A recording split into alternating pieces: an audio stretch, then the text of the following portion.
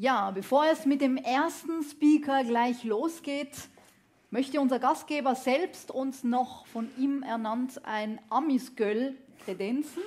Und ich denke, wenn ich Amisgöl sage, dann wird er ganz genau verstehen, was das auf Deutsch bedeutet. Er arbeitet nämlich als Trainer, Speaker und Coach in fünf Sprachen. Er treibt sich in diesen Rollen auch mehrfach mehrere Monate im Ausland rum. Insofern ist er die Idealbesetzung zu diesem Thema. Darauf sollten Deutsche im Ausland achten. Nochmal einen herzlichen Applaus für unseren Gastgeber und Moderator Dr. Martin Emrich. Dankeschön, Dankeschön. Deutsche im Ausland. Das finde ich einfach grandios. Ich liebe es, ich liebe es. Vielleicht gehe ich nur deshalb ins Ausland, weil es so spannend ist, wie wir da wahrgenommen werden. Und ich möchte euch in den nächsten Minuten ein paar Tipps geben, auf was ihr achten solltet, sobald ihr wieder reisen dürft. Ja, irgendwann wird es passieren.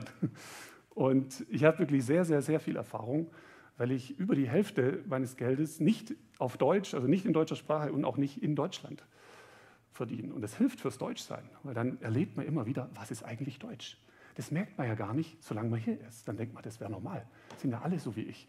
Aber sobald ihr mal woanders seid, ich war jetzt ganz lange in Afrika, zwei Monate, durfte dort äh, auf Französisch äh, Führungskräftetrainings leiten. Und in Amerika und in Asien. Und ich finde es total spannend.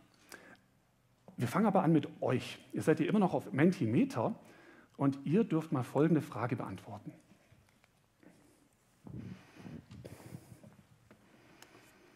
Welchen Ruf haben Deutsche im Ausland?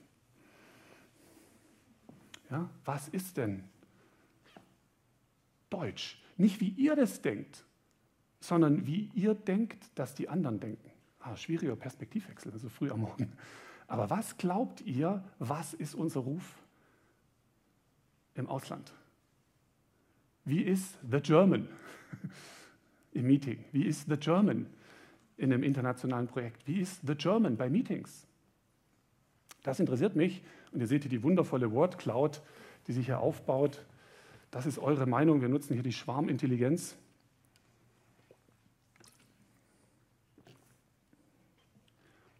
Oh, jetzt seid ihr schneller. 41 Leute haben schon gewotet. Übrigens, wenn das mehrfach gewotet wird, wird es dicker. Und ihr seht, pünktlich scheint so das Attribut zu sein, das uns am meisten im Ausland auszeichnet, in eurer Meinung. Gefolgt von diszipliniert, genau, geizig, okay, präzise, total spannend. Badetuchreservierer, das ist sehr schön. Humorlos. Was hast du gesehen? Wo ist die Bratwurst? Ja, da unten links, Bratwurst exakt, korrekt. Imperfect Imperfection. Okay. Super. Ihr dürft gerne noch weitermachen. Ähm, 49 Leute haben schon gewotet. Es gibt ganz, ganz viele Wahrnehmungen. Äh, in Italien sagen die Leute immer, Martino, sei troppo rigido. Das bedeutet, du bist zu rigide. Ja, das habe ich ja auch schon gesehen. Also rigide, irgendwie so ähm, zu strukturiert. In Spanien, wisst ihr, wie wir Deutsche in Spanien heißen? Wir Deutschen? Cabeza quadrada. Das bedeutet Würfelkopf oder Quadratkopf. Ja? Quadratisch praktisch gut. Ja, so sind wir. Also richtig schön strukturiert, äh, kein unnötiger Smalltalk, ja, immer straight to the point. Ja, und dazu möchte ich euch eine kleine Geschichte erzählen. Nämlich war ich kürzlich bei einem Business Meeting in Brüssel. Und wir waren ein Italiener, ein Franzose und zwei Deutsche. Und wir hatten zwei Stunden Zeit für dieses Treffen, hatten mega viel zu besprechen. Und der Beginn von dem Meeting war, dass der Italiener gleich mal gesagt hat, eh, prima di iniziare questo riunione, perché non andiamo a prendere un caffè? Eh, why don't we, before we start, before we start, uh, come si dice la riunione? Before we start uh, the meeting, why don't we drink a coffee? Why don't we drink a coffee? Why don't? Und dann kam der Franzose und hat äh, mais oui, bien sûr, mais on a beaucoup de travail. Euh, c'est pas possible de prendre un café maintenant. Il faut d'abord travailler. We have to work now. And maybe later we can go to a restaurant and eat something there. Eat something there. Pas McDonald's, non, c'est dégueulasse. Mais un restaurant, plus tard. On peut y aller, euh, manger quelque chose, oui, pourquoi pas, later, later. Okay, also zwei Essensvorschläge, ja, sozusagen zum Beginn des Meetings. Jetzt kam der Deutsche. Und was hat der gesagt?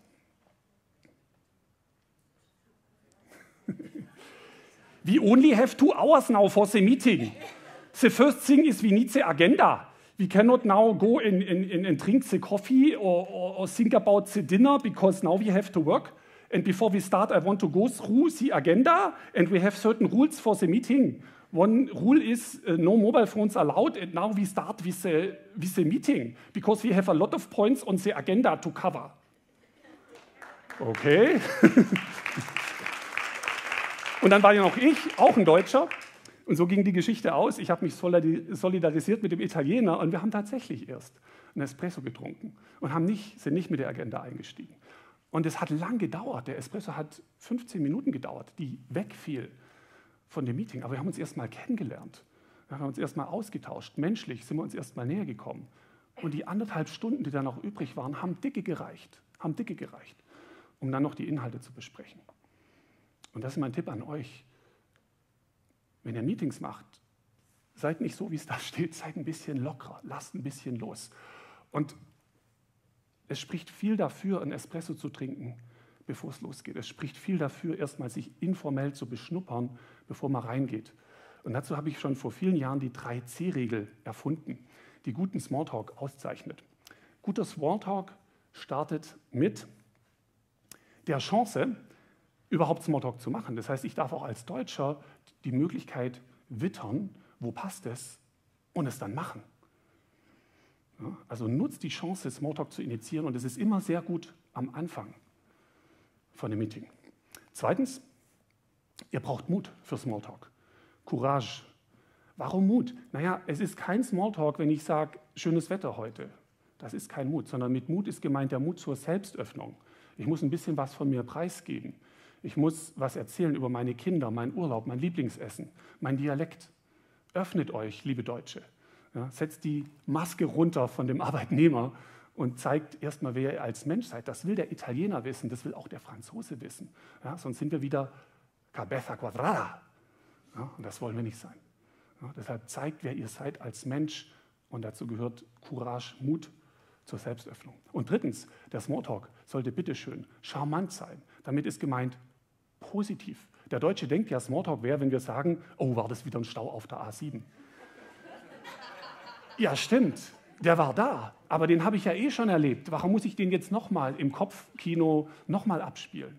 Ja, mach doch einen schönen Smalltalk, mach doch ein Kompliment. Sag doch dem Italiener, Mensch, schön, du kennst dich bestimmt aus mit Espresso. Was trinkst du gern für Arten von Kaffee?